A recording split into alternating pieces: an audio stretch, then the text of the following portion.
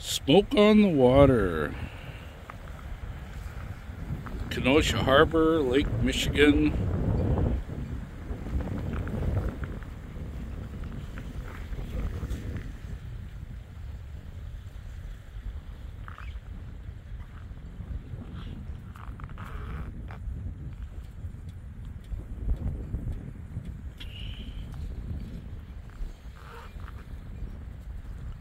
It's flipping cold out here. Holy shit.